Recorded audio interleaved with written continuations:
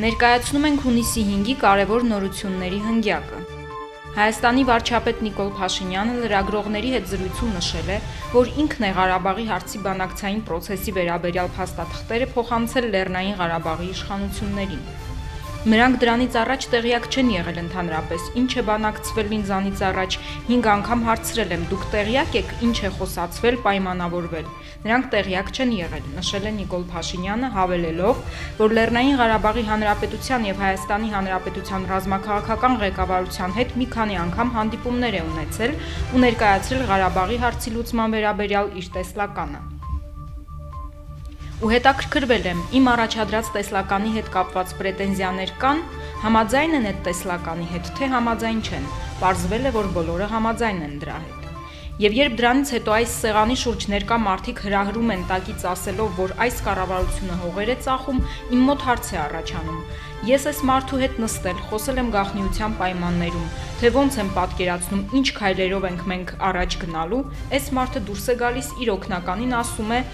գնա Facebook-ում գրի, որ Փաշինյանը հողերը ծախում է։ Ինչի համար է ինքը դա անում։ Ինքը գիտի 100%-ով ինչ է կատարվում։ Եվ ընդ որում, երբ որ Հայաստանի իշխանության ղեկին եղել է իր բարի ընկերը, ինքը ոչ մի ինֆորմացիա չի ունեցել։ Իրեն հարկել չեն համարել տեղյակ պահել, թե ինչ է կատարվում, ինչ են մտածում ու ինչ են ուզում ասել, ընդգծել է վարչապետը։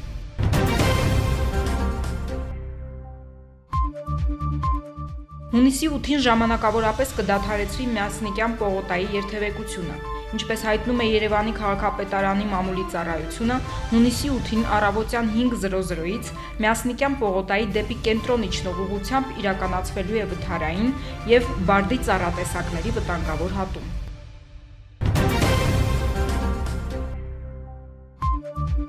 Նախորդին Երևանի կենտրոնի բնակարաններից մեկում մահացած 12-ամյա Արևիկ Պողոսյանը 2019 թվականի ապրիլին Գյումրիում անցկացված վերածնունդ միջազգային 11-րդ մրցույթ փառատոնի հաղթող էր։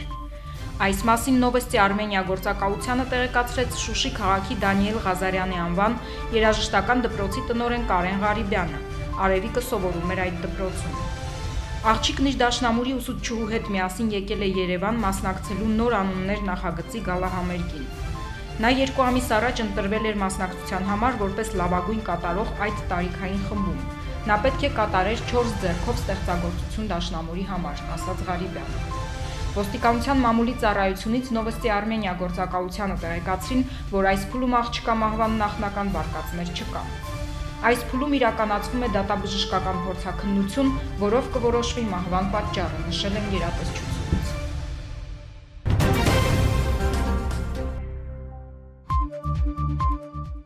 Հայաստանի պաշտպանության նախարարության մամուլի քարտուղար Արծրուն Հովանիսյանը Facebook-ի իր էջում անդրադարձել է թուրք-ադրբեջանական զորավարժություններին։ Մենք ուշի ուշով հետևում ենք ամեն ինչին եւ պատրաստ ենք ցանկացած զարգացման։ Հայաստանի Հանրապետության զինված ուժերն իր ռազմավարական դաշնակից Ռուսաստանի Դաշնության հետ համատեղ իրականացնում է ավելի մասշտաբային եւ բովանդակային զորավարժություններ, նշել է Հովանեսյանը։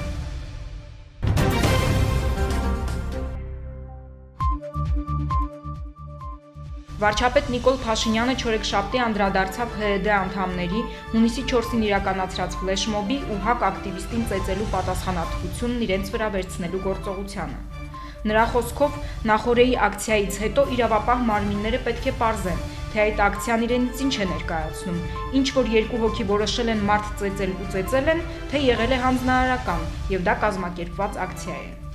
Եթե կազմակերպված ակցիա է, ապա դրա իրավական գնահատականը պետք է փոխվի։ Բոլոր այն մարդիկ, ովքեր բռնություն են քարոզում, հատ-հատ բերվելու են պատասխանատվության, ասաց Փաշինյանը, կոչ անելով իշխանությունների բարեկրթությունը չշփոթել թուլության հետ։